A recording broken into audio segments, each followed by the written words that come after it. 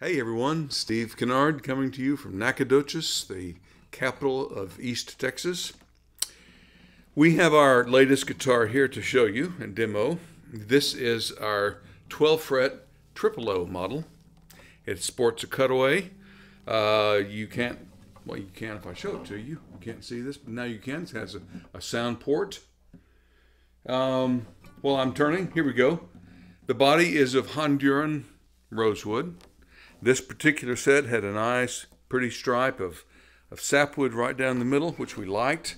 We tried to match it on the neck. We put a stringer of curly maple right down the center. It has Honduran mahogany to match the Honduran rosewood. So these things grew in the same neighborhood, and they're probably they're probably friends for all we know.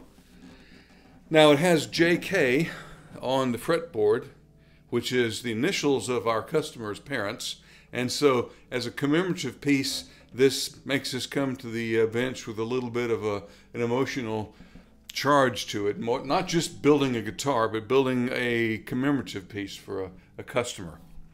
Also, as sometimes happens, the customer had very specific sonic uh, requirements. He wanted something dark, something kind of lush.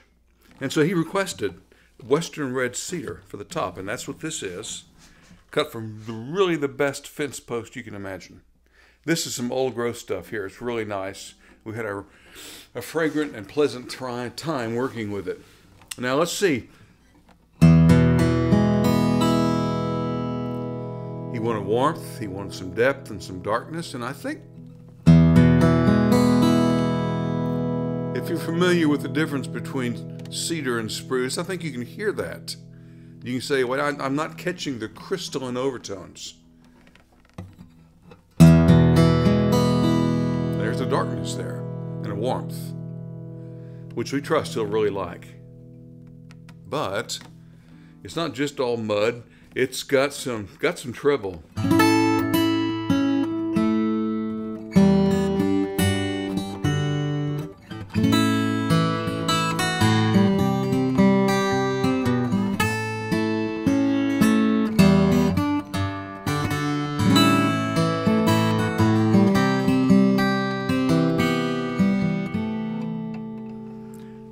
Think that he's got something that he's going to enjoy playing.